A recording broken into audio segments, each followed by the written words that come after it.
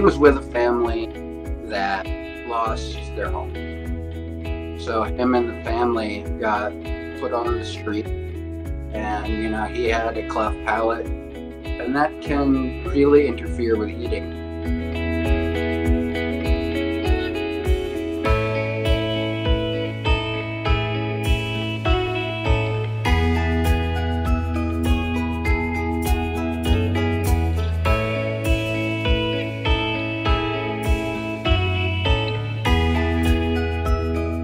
The dogs, I check on them, take them for walks. Every time I just kept uh, stopping by to see him. Clefford is my favorite little dog. He was a uh, Chihuahua miniature pinscher mix.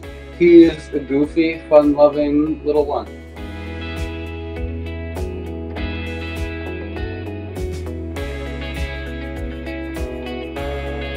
There is no feeling like seeing a dog that's been in the shelter for weeks get adopted.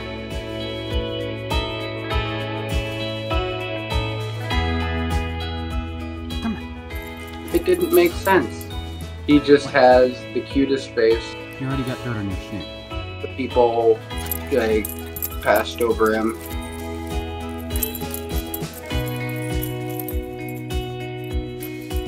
He had such an infectious little personality, and he would always press up against the cage, wanting pets. So eventually, I uh, I just had to take him home. Cool.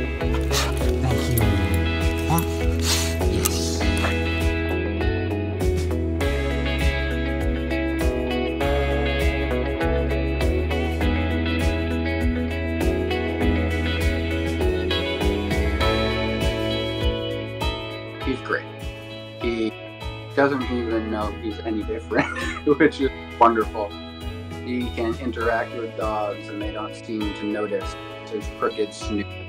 It's fantastic to see. The first few months were rough, but you know, that just makes his happiness now just so much better. Every single dog out there could be a perfect family member. It just takes time and enough love and training. So go out and adopt a dog with a weird face, and you will be as happy as can be.